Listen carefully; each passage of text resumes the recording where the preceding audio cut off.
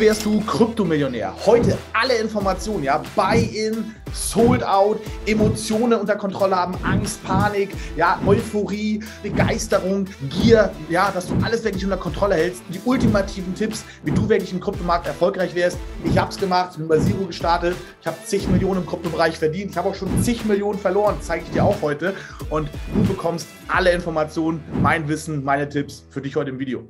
Okay, liebe Community, erstmal ganz, ganz wichtig am Anfang, falls du gewisse Parts vielleicht nicht verstehst, falls ich manchmal zu schnell rede, was ja gerne gemacht schau dir gegebenenfalls ein paar Parts nochmal wieder an, dass du wirklich hier auch alle Informationen bekommst. Natürlich direkt den Kanal abonnieren und dem Video ein Like geben, damit wir die Reichweite natürlich auch maximal vergrößern, damit viele Menschen erreichen. Aber erstmal müssen wir uns wirklich anschauen, worüber sprechen wir überhaupt. Wir sprechen wirklich hier vom Kryptomarkt und da gehen wir auf CoinMarketCap. Und der Kryptomarkt ist ein höchst volatiler Markt. Deswegen ist es hier natürlich enorm wichtig, deine Emotionen unter Kontrolle zu haben. Ja?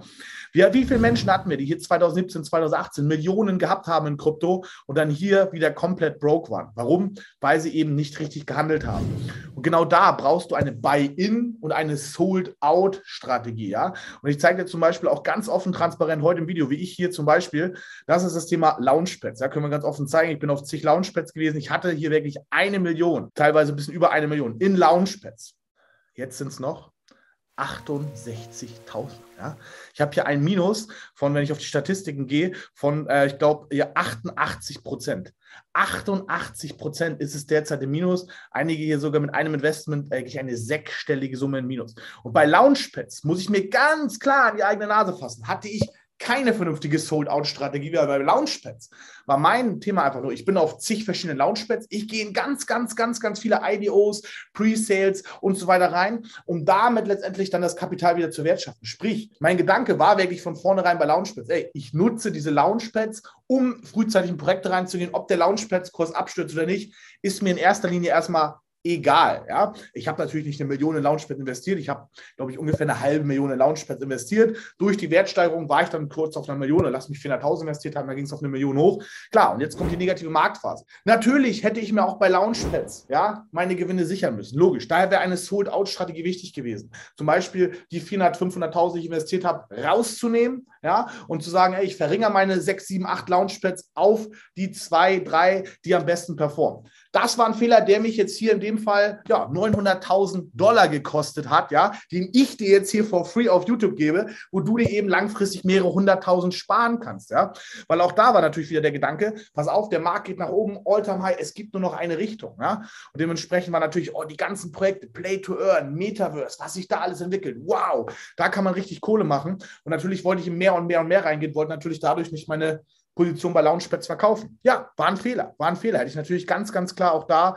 Natürlich einige Launchpads, so wie GameZone, die haben ihren eigenen Token gedumpt, also Blutzilla, alles eh so eine halben Scammer, sag ich mal. Ist eine andere Geschichte, will ich nicht so viel drauf eingehen. Aber dass ihr hier auf jeden Fall mal wisst, natürlich eine Sold-Out-Strategie wäre hier wichtig gewesen. Zumindest hier, wenn man sagt, pass auf, es kracht hier schon mal runter. Das war dann dementsprechend wirklich so, ja, Dezember, wo schon ein bisschen klar wurde, die Marktphase wird negativ. Zumindest hier, wo man noch im Gewinn war. Auch dann muss man wirklich sagen, okay, du pass auf, das ist der Kryptomarkt. Der Kryptomarkt bewegt sich eben in Wellen wie hier oder auch wieder hier. Ey, gehen wir mal raus, gehen wir mal raus. Das ist das Erste, also sold out. Ja? Immer wenn wir zum All-Time-Highs gehen, dann musst du verkaufen. Du musst nicht denken, es gibt nur noch eine Richtung, ey, zack, zack, zack. Nein, du musst hier abverkaufen.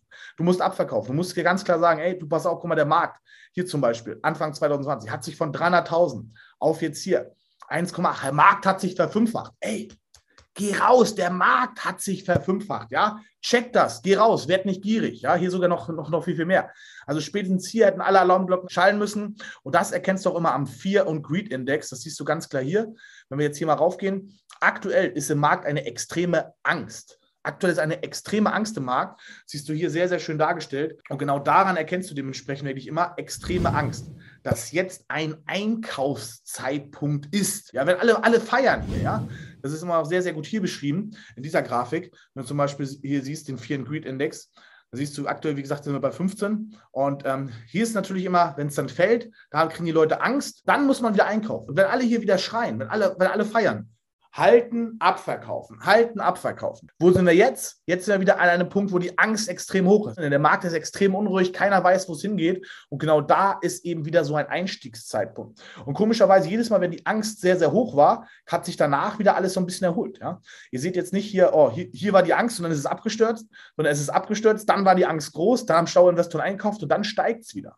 Ja, das kann man sich wirklich sehr, sehr schön historisch anschauen. Und dann ist eben auch die richtige Buy-in-Strategie, weil die meisten, die kaufen hier ein. Wenn Optimismus da ist, wenn Enthusiasmus da ist, wenn Begeisterung da ist, Euphorie, dann kaufen die Menschen ein. Beim Alltime High. Wir haben es letztes Jahr gesehen, Oktober, November, ja, können wir offen sprechen bei unserer Education-Plattform. Wir haben Millionen Umsätze in der Woche gemacht. Wir hatten, glaube ich, im Oktober, November hatten wir, glaube ich, beides haben fast über 10 Millionen Umsatz gemacht, obwohl es das Alltime High ist, wo eigentlich Menschen einsteigen, in den Markt, sagen, ey, ich habe verstanden, dass der Markt hingeht. Ich eigne mir jetzt Wissen an, aber ich investiere nicht.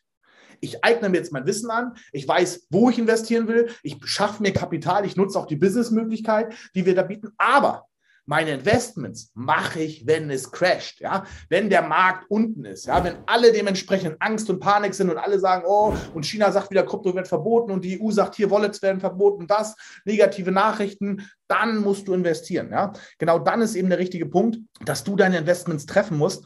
Wenn eben hier, wie gesagt, jeder, jeder, jeder rumheult, die Menschen wirklich Panikverkäufe machen, dann musst du eben als schlauer Investor wieder einsteigen und das eben wieder ausnutzen. Ja? Und jetzt natürlich auch nochmal eine ganz, ganz kurze Exkurs wirklich rein, wie so eine Buy-in- und Sold-out-Strategie denn wirklich aussieht. Ja? Weil wir sehen es jetzt, wir gehen jetzt wirklich mal hier drauf aufs letzte Jahr. Wie hätten wir uns im letzten Jahr richtig verhalten sollen? Ja? Wir sehen zum Beispiel hier, so pass auf, der Markt ist in der Korrektur. Sagen wir, du hast jetzt 100.000 Dollar. Ja, einfach nur Beispiel. Ob du 100 Dollar hast oder 10.000, ist egal. Dann gehst du natürlich hier rein. So, du sagst hier am Anfang so 30 Prozent rein. In dem Fall 30.000 verteilst du auf deine Coins. Ja, ich habe ja schon immer wieder gesagt, das ist jetzt nicht Teil des Videos, 25 Prozent im Stablecoin halten, 25 Prozent passive Einnahmen, 25 Prozent Maincoins und 25 Prozent wirklich in die Coins mit Altcoins, mit x100, mit x1000 Potenzial, mit Expertenwissen wirklich. Ja, also diese 25 Prozent Maincoins wirklich Coins aus den Top 30, Top 50 und mit den anderen 25 Prozent wirklich Altcoins mit enormem Potenzial nach oben. Das ist erstmal dazu zu den Coins nochmal, aber das ist nicht Teil des Videos. Und dann gehst du hier mit 30 Prozent rein mit 30.000.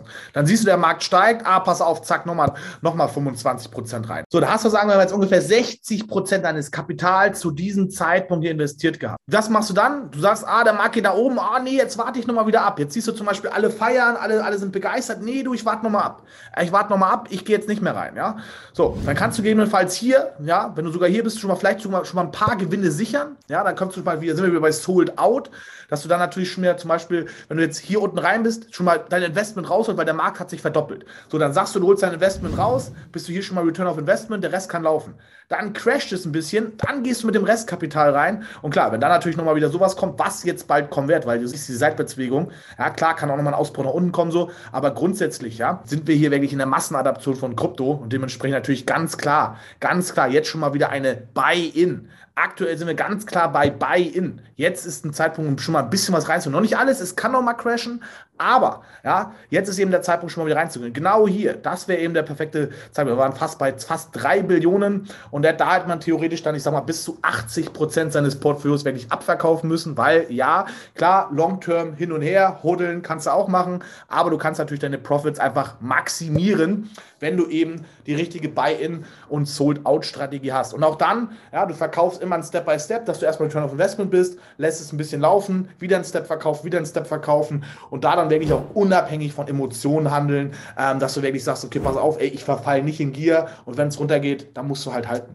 Wenn du keine richtigen Gewinne realisiert hast, dann musst du halten, dann musst du es aushalten, ist nun mal so, weiter Cashflow generieren, dass du nicht auf das Geld angewiesen bist und dann kann es eben weitergehen. Weil wenn wir uns auch jetzt mal den Gesamtmarkt anschauen, wir reden jetzt ja gar nicht nur von Krypto, wir reden jetzt mal wirklich mal vom gesamten Marktumfeld und da sind wir jetzt wirklich auch im Aktienmarkt hier, S&P 500. Auch da sind wir hier wirklich in einer extremen Angst aktuell. Ja? Auch da sind wir wirklich hier in einem sehr, sehr unruhigen Markt. Klar, die Zinsentscheidung der FED steht aus. Wir sehen, dass die Inflation gerade in Europa, in Deutschland extrem ansteigt. Jetzt wird natürlich versucht, mit der Zinserhöhung da entgegenzuwirken. Ja? Corona-Pandemie gerade vorbei, die ganzen Nachwirkungen, ja, Russland-Ukraine-Konflikt, ähm, Lieferketten brechen teilweise weltweit, gewisse Lebensmittel, Stromkosten gehen teilweise extrem hoch. Man sieht, wie die Welt in Abhängigkeiten ist. Neue Strukturen bilden sich, ja, weil wenn die eine Handelsverbindung kippt, suchen sich neue Handelsverbindungen. Ja? Die Welt ist agiler denn je und viele weltweite Strukturen verändern sich aktuell und dadurch ist natürlich Angst in den Märkten. Und da gilt es natürlich auch wieder Cashflow zu generieren. Da gilt es für dich eben Cashflow aufzubauen, dass du eben weiter vorankommst, um eben Krypto-Multimillionär oder Millionär zu werden und dir die finanzielle Freiheit zu holen. Weil Millionäre werden nicht im Bullenmarkt gemacht, Millionäre werden im Bärenmarkt gemacht. Dann, wenn es unten ist, ja, dann geht es dir ein Fundament aufzubauen, ja, Businessmöglichkeiten, wenn du sagst, ey, ich bin im Angestelltenverhältnis, ey, ich bin in der Selbstständigkeit, aber ich, ich habe kein skalierbares Einkommen.